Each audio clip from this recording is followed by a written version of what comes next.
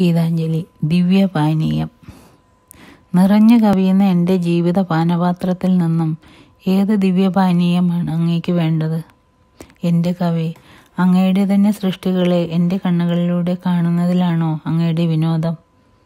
എന്നിട്ട് കാതുകൾക്കരികിൽ വന്ന് അങ്ങയുടെ തന്നെ ആ സംഗീതം ആസ്വദിക്കുകയും. അങ്ങയുടെ ലോകം എന്റെ മനസ്സിൽ വാക്കുകൾ നെയ്യുന്നു. അവിടുത്തെ സന്തോഷം അത് സംഗീതമായി മാറ്റുന്നു. അങ്ങ് അങ്ങെ തന്നെ സ്നേഹത്തോടെ എനിക്ക് നൽകി എന്നിട്ട് എന്നിലൂടെ അങ്ങയുടെ തന്നെ മധുരിമ ആസ്വദിക്കുകയും.